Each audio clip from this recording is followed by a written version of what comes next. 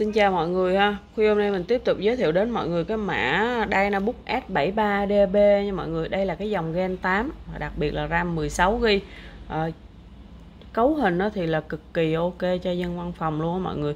Mình sẽ view rõ ràng cái ngoại hình cái cấu hình ờ, mình báo giá nha. Phím là tương đối đẹp nè mọi người. Tuy rằng nó có hơi cái vết hơi bóng nhẹ Rất là nhẹ thôi Nhưng mà như vậy là cũng đẹp So với cái dòng này. Vậy là đẹp rồi đó mọi người à, vẫn là cái kiểu uh, sọc gân của hãng uh, ta làm. Bàn rê chuột đẹp mọi thứ là đẹp. Đây là màu đen nha mọi người. À, màn hình là 13.3 inch màn hình Full HD mà cái độ sáng là sợ luôn á mọi người. À, phải chắc là phải hạ độ sáng xuống thì à, nhìn nó mới mới à, à, dễ chịu được là nó sáng kinh khủng luôn. Và mình giới thiệu đến cấu hình cái đã ha. S73 DB nè i5 Gen 8 RAM 16GB cấu hình là quá mê cho dân văn phòng rồi mọi người. SSD là 256GB mọi người có thể nâng cấp lên 512 à, 1T gì đều được ha. Cái máy này có một cái nhược điểm là trên nền ờ, trắng nó có phản quang mọi người. Hơi phản quang trên nền trắng. Mà phản quang này thì nhẹ thôi.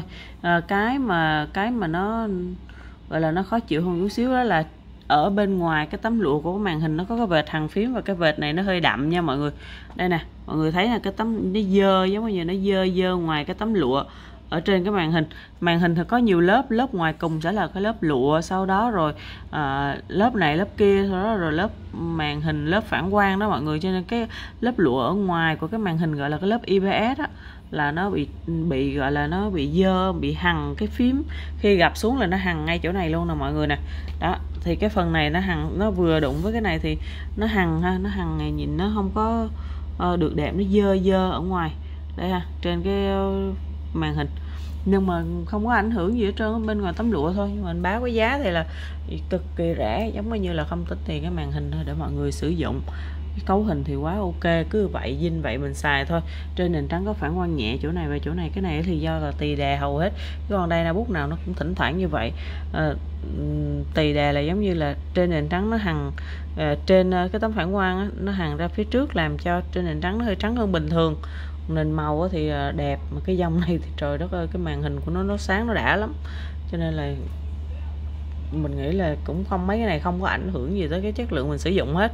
À, còn loan hay là hư hại là không có mọi người không có lo ha. Màn thì quá đẹp rồi. Giờ mình sẽ quay ở bên ngoài. Ấy mình đang nói độ sáng quá đẹp nha mọi người mình xin lỗi chứ còn nó cũng có có cái lỗi là nó hơi hằn cái bàn phím đó. Với lại phản quang trên cái phần vỏ sọc nhung này thì nó có cái, có bóng ha, bóng mòn đã qua sử dụng. Nhưng mà cái sọc gân là không bao giờ bị gãy hết trơn mọi người đang nguyên cái sọc gân nè. Mà cái vệt bóng mòn, dơ đã qua sử dụng, nó hằn lên. Đây cái này thì dạng như xước nhẹ nè, có xước nè. Đó. Đây là bút góc cạnh. Cái này chắc là lau chùi là nó sẽ sạch. Nói chung là đã qua sử dụng vỏ thì xấu ha có vệt bóng mòn hằn màu đen nha mọi người. Màu đen. À, nhìn này màu đen nè.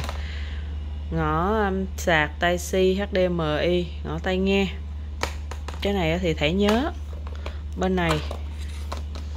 Bên này thì mình có mạng LAN USB ha. Hai ngõ USB mọi chức năng hoạt động hoàn hảo. Pin thì trên 3 giờ.